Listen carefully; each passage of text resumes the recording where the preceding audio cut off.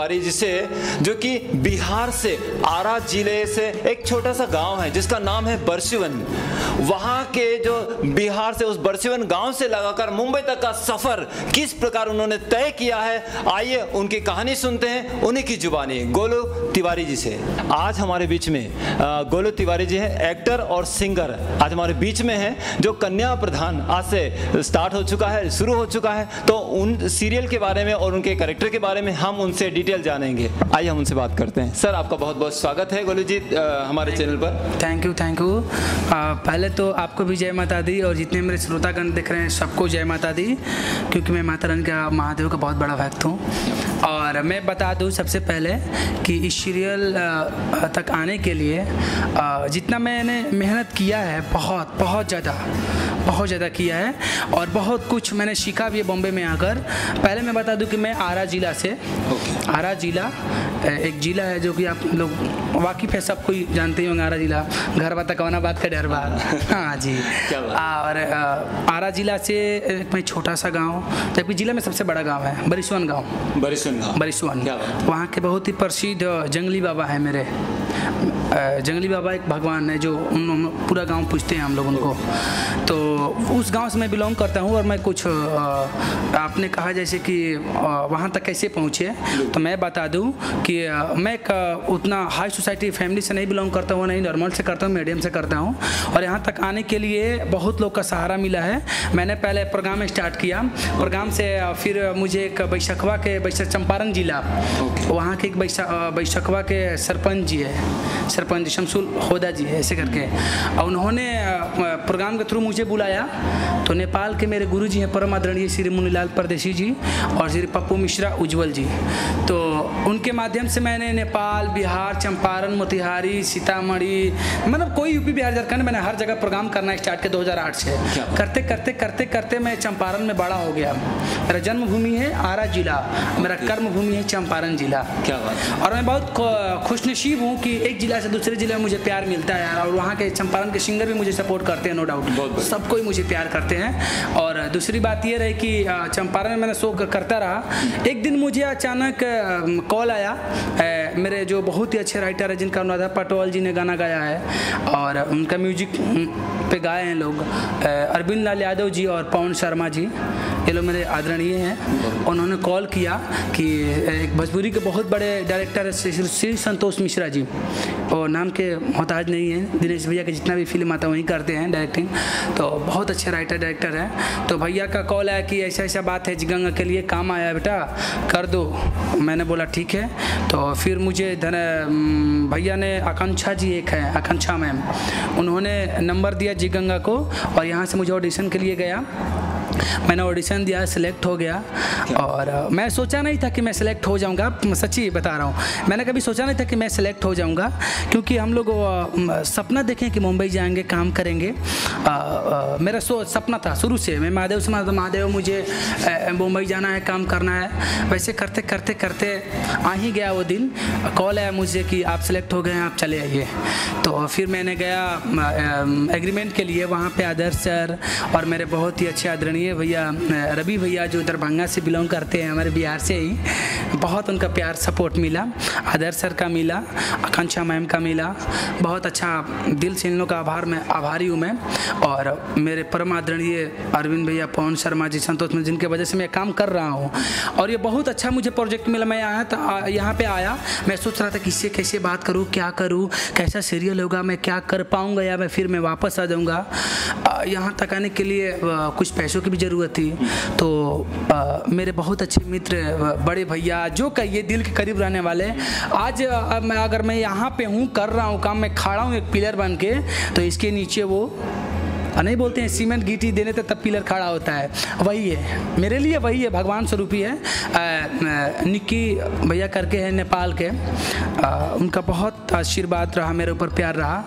और क्या बोलते हैं कि यहाँ आया सीरियल में स्टार्ट हुआ जब सीरियल करेक्टर मुझे पता चल मैं सीरियल करेक्टर में हूँ रंजन तिवारी में। और ये सीरियल जो है ना अ, मैंने पढ़ा स्क्रिप्ट इसका बहुत ही ज़बरदस्त सीरियल है। इसलिए मैंने ये करने का फैसला किया कि मुझे करना ही है डट के करना है इसमें।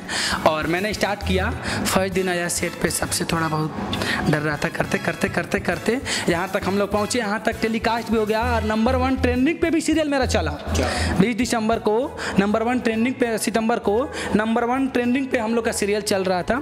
आ, कल भी चला है फिर कल से भी चलेगा। महादेव का आशीर्वाद रहा तो। और बहुत ही अच्छा प्यारा धारावाहिक सीरियल है कन्या प्रधान। और स्पेशल थैंक्स सोनम मैम को रोसेल मैम को संतोष सिंह मैम को सर को। और बाकी सबका सपोर्ट है आशीर्वाद है प्यार है। और बस अब क्या बताऊँ सब तो बता ही दिया आपको।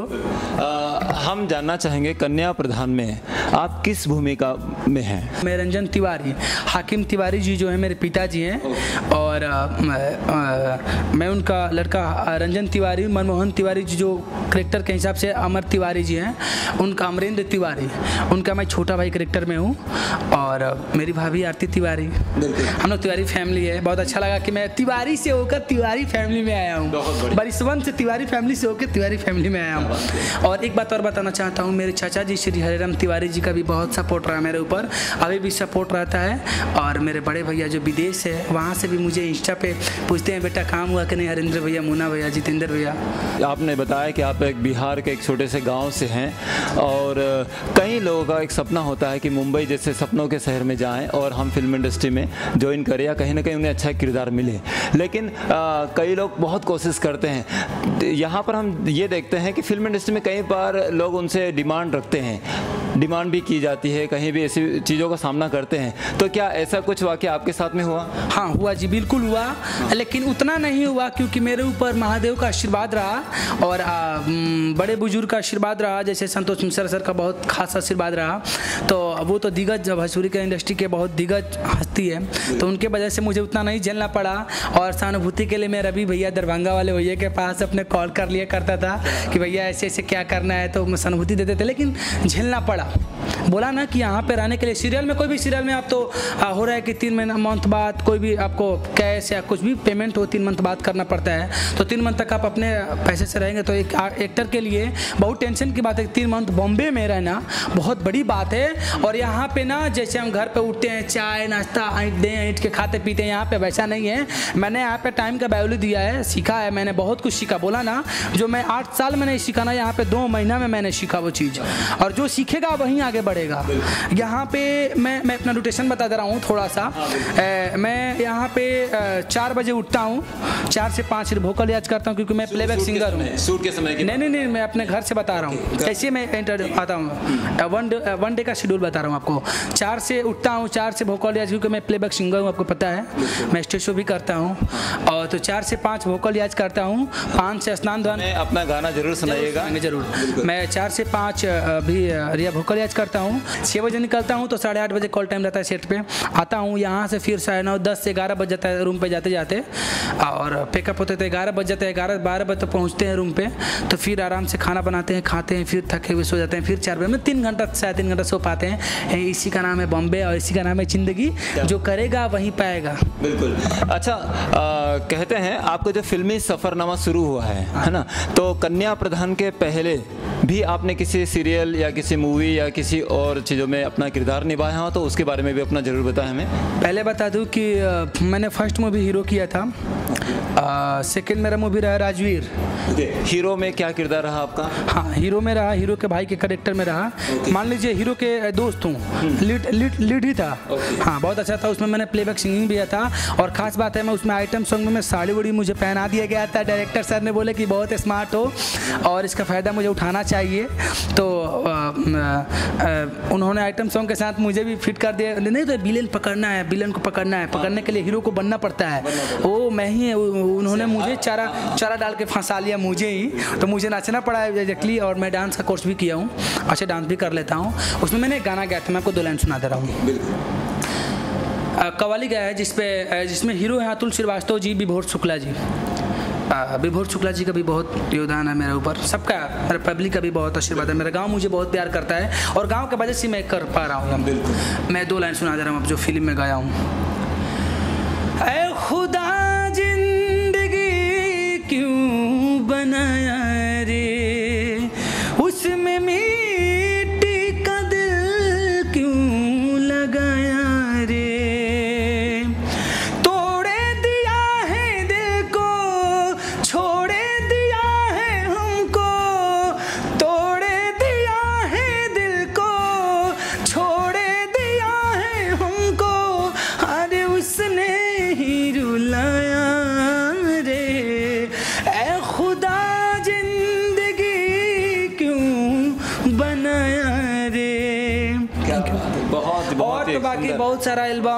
मार्केट में वेब से एंगल से संजीवनी से अभी तो साई रिकॉर्ड से भी गया था बहुत अच्छा प्यार।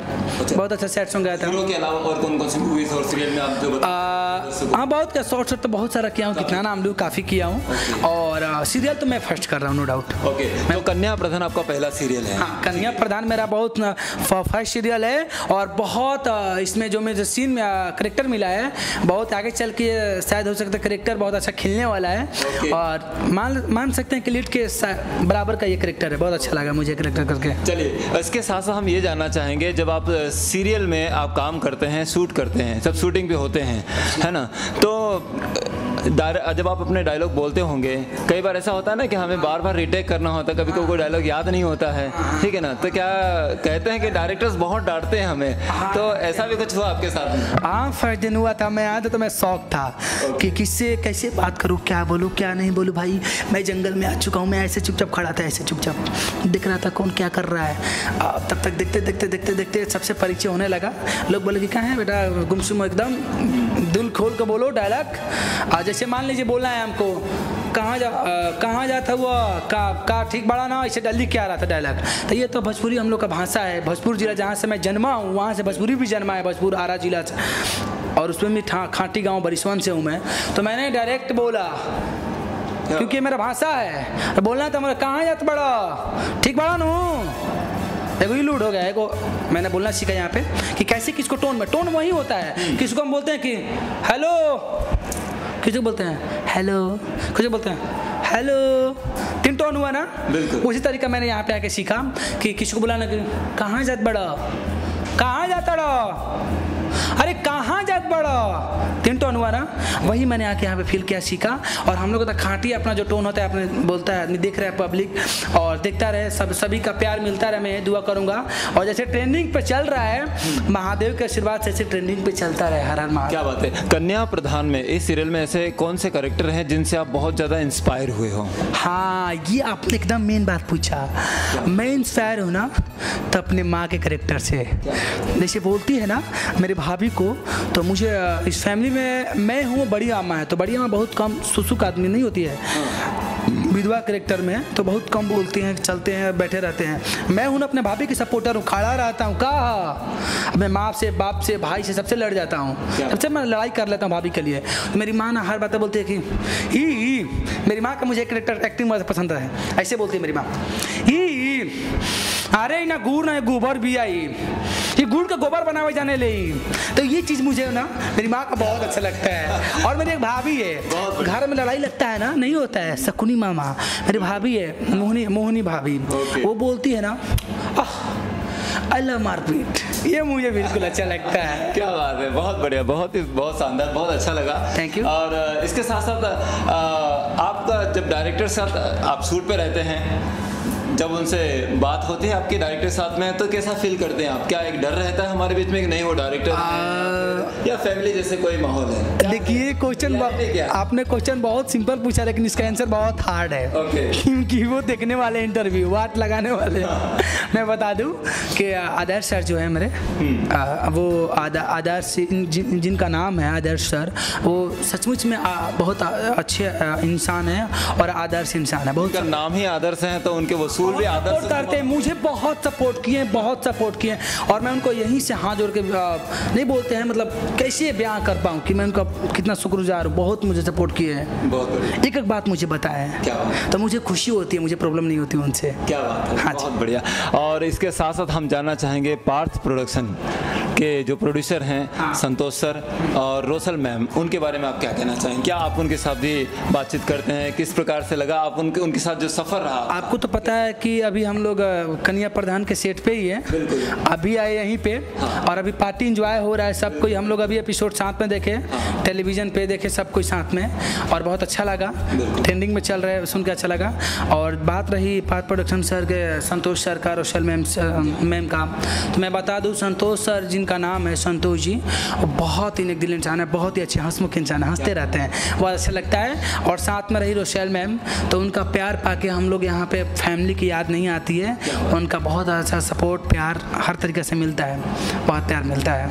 अंत में हम ये जानना चाहेंगे कि सर, जैसे परिवार की बात हुई, फैमिली की बात हुई, आपने अभी कहा कि मैं अपने परिवार को याद भी नहीं कर पाता मतलब परिवार का पूरा प्यार यहाँ मिल जाता है। बोला कि याद नहीं कर पाता मैंने बोला मैंने बोला कि नहीं होता है कि याद आ जाता है हर समय हर समय तो उसको कमी पूरा कर देती है थोड़ा बहुत उतना फैमिली आपको कमी नहीं पूरा कर सकता है लेकिन फिर भी होता है ना एक अपनापन सा लगता है उनके साथ वो प्यार मिल जाता है। तो अपने परिवार के बारे में थोड़ा सा बताइए परिवार में कौन कौन है क्या क्या? मेरे परिवार में मेरे पापा का नाम है श्री देवनाथ तिवारी मैं बरिशवन से बिलोंग करता हूँ और मेरे गाँव के बहुत ही अच्छे पहले तो बता दूँ मुखिया जी श्रीकांत तिवारी जी जो कि बहुत ही नेक दिल इंसान है। मेरे गाँव के बहुत ही अच्छे अभी तक आ, सबकी मदद करते हैं मेरा भी पोस्ट डाले हैं। देखिए एक मुखिया नहीं डालता है किसी का पोस्ट एक्टर का क्या मतलब है गाँव से उनको? लेकिन मेरा कल उन्होंने पोस्ट डाला कि गाँव के पंचायत की तरफ़ से तुमको बहुत बहुत ढेर सारी शुभकामनाएँ बेटा आगे बढ़ते रहो। तो मुझे दिल मेरा गदगद हो गया खुश हो गया।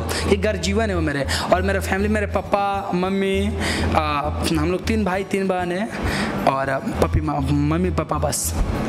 मेरे घर में अगर मुझे कोई सपोर्ट किया है तो मेरी आ, आ, जो नहीं होता है सेकेंड सिस्टर मजिल मजिल हम लोग बोलते हैं गाँव में। तो मेरे सेकंड सिस्टर सिस्टर मुझे बहुत सपोर्ट किया है बहुत सपोर्ट किए हैं बहुत सपोर्ट किए हैं और बड़े सिस्टर भी मुझे बहुत मानते हैं। सब कोई मानता है लेकिन सपोर्ट किए हैं सब कुछ सपोर्ट किया है। लेकिन होता है ना मैं गाने का ज़रिया मैं स्कूल से ही गाता था उन, उनका ये सपना था कि मैं गाऊँ और टीवी पे आऊँ। हाँ तो मेरे मजिल सिस्टर तो आपका सपना क्या था? एक एक्टर बनना था या फिर सिंगर बनना था? दोनों दोनों। बनना था। क्या बात है। अच्छा तो जैसे अब आप एक्टिंग के क्षेत्र में हो किरदार के क्षेत्र में आप कर रहे हैं सीरियल।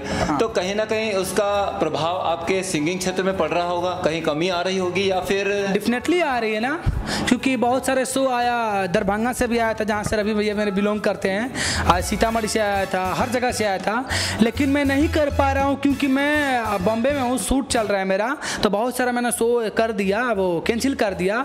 तो एक होता है ना आदमी गाते रहता है तो गला खुला रहता है। लेकिन मैं उसके लिए कमी ना खले मेरा गला खराब ना उसके लिए मैं वोकल रियाज मॉर्निंग में ज़रूर करता हूँ। और अभी नौ तारीख को मेरा शो है बहुत बड़ा शो है चंपारण जिला में। नौ तारीख को। बहुत बड़ा शो है बहुत सारा बेतिया जो जिला है ना वहाँ पे बहुत बड़ा शो है। ओके। तो जैसे हम जानते हैं कि आप एक अच्छे सिंगर हैं तो कहीं ना कहीं हर सिंगर के एक गुरु होते हैं जिनसे वो अपनी प्रेरणाएँ लेते हैं जिनसे वो सीखते हैं।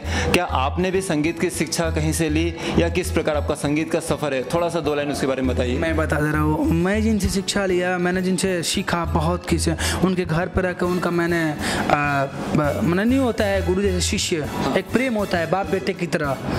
आ, सच्चा प्रेम। मैंने नेपाल में मैंने नेपाल में शिक्षा लिया है जिनका नाम है बहुत सारे फ़िल्म और गाना गए पप्पू मिश्रा उज्जवल जी और मैं जिनके घर पर रहता हूँ वो मेरे बड़े परमादरणीय गुरु जिनसे सबसे पहले भेंट हुआ। मेरे मुनीलाल परदेशी जी गुरु जी जो कि बहुत ही विख्यात कवाली सिंगर हैं नेपाल कंट्री से। मैं नेपाल कंट्री में मुझे बच्चा बच्चा जानता है नेपाल चंपारण आरा जब बहुत। क्या है? बहुत बहुत बढ़िया। और अंत में हम ये चाहते हैं कि आप हमारे रवि जी और लीड इंडिया के बारे में आप क्या कहना चाहते हैं? हाँ मैं बताना चाहता हूँ जो लीड इंडिया है आ, मैं पब्लिक से भी बताना चाहता हूँ जो लीड इंडिया है ये चैनल को आप लोग ज़रूर सब्सक्राइब कीजिएगा क्योंकि बहुत अच्छा है और इस पर हर स्टार कास्ट का इंटरव्यू आता रहता है और आगे भी हम लोग इससे जुड़ गए हैं तो आ, आगे आते रहेंगे क्योंकि ये मेरा रवि भैया जिन जिनसे बहुत दिल का मुझे अटैचमेंट है दरभंगा से बिहार से बिलोंग करते हैं मेरे बड़े भाई जैसे हैं उनका ही चैनल है मुझे अच्छा लगा और आपसे भी मिलकर अच्छा लगा। थैंक यू चलिए बहुत बहुत शुक्रिया आपका हमारे इस चैनल पर आने के लिए और बहुत सारी बातें अपनी लाइफ के बारे में आपने हमारे साथ जो शेयर किए हमारे दर्शकों को बताई है उनके लिए आपका बहुत बहुत शुक्रिया करते हैं धन्यवाद करते हैं। थैंक यू जय माता दी मैं एक ही दर्शक से अपील करना चाहता हूँ कि जो मैं झेला हूँ और आगे शायद झेलूँ क्योंकि अभी तो मैं कुछ नहीं हूँ मैं सोच के दंग रह जाता हूँ यहाँ तक पहुँचने में। तो अगर किसी आर्टिस्ट से किसी वजह से किसी आर्टिस्ट के वजह से कोई आर्टिस्ट छोटा अगर पहुँच जा रहा है उस मंजिल पे तो आप लोग प्लीज़ हेल्प कर दीजिए। मैं किसी किसी आर्टिस्ट की मैं बात कर रहा हूँ क्योंकि अच्छा टैलेंट रहते हुए बिहार में अपने छिपे रहे ऐसा नहीं होना चाहिए। ना? और आपसे अपील करता हूँ सबसे जितने भी मेरे श्रोतागण देखते हैं मुझे कि आठ बजे रात में कन्या प्रधान देखना ना भूले। आप भी ना भूले देखिएगा जी गंगा देखेंगे। आपके सिर्फ़ और सिर्फ़ हाँ, गंगा टीवी आपके इस बात को सुनते हुए मुझे दो लाइनें याद आ रही है और कहते हैं कि नाकामयाब लोग दुनिया के डर से अपने फैसले बदल लेते हैं। नाकामयाब लोग दुनिया के डर से अपने फैसले बदल लेते हैं और कामयाब लोग गोलू तिवारी जैसे। कामयाब लोग अपने फैसलों से दुनिया बदल देते हैं। मैं एक बात बोलना चाहूँगा। मैं यहाँ पे आया गाँव से मोटा ताज़ा होके आया था। एक आदमी ने मुझे पूछ दिया। ऐसे स्ट्रगल होता है ना आपने पूछा हो बात। मैं दो लाइन गा के इसको मतलब बता देना चाहता हूँ कि। एक एक्टर की दुनिया में बॉम्बे आने के बाद क्या हालत होती हाँ, है अ, क्योंकि यहाँ पे आया था जैसे कि मोटा ताज़ा आया था खा पी एकदम लाल होके। भाई मैं एकदम स्मार्ट हूँ आऊँगा करूँगा वो करूँगा। लेकिन यहाँ पे आने के बाद सब स्मार्ट के निकल जाता है काम की वजह से। तो दो लाइन मैं बताना चाहता हूँ। दो लाइन गा के फिक्रों ने रंग चेहरे